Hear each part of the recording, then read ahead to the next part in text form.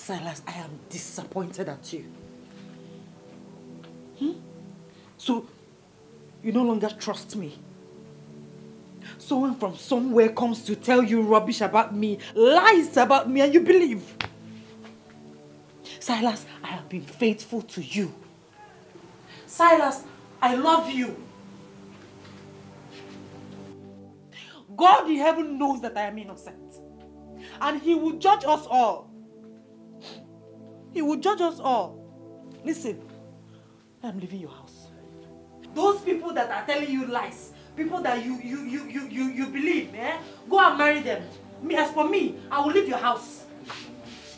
Why are you holding me? Allow me to go. love, go and marry people that are telling you lies about me. Since you don't trust me, your wife. I trust you. It's not like I don't trust you. Look, I'm very sorry. It's just that Udo sounded very convincing, therefore deceiving me. He deceived me. I am very sorry. Please don't go. Can't you see? Udo is an enemy of progress. Yes. Yes. He doesn't like you. He wants to put us under. He wants to scatter our family. He wants to break us up. Eh? I have always known this, but now I am very convinced. Udo! Hmm. We shall see.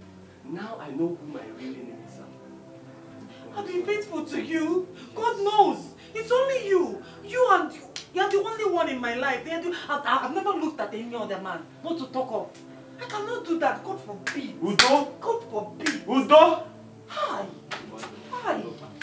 Oh, I, I never should have believed him. I'm heartbroken. No, no, no, no, no, don't, don't, don't, don't, don't. I'm heartbroken. I tell you. It's all my fault. It's all my fault. You know where you are? This is Nollywood Pictures TV.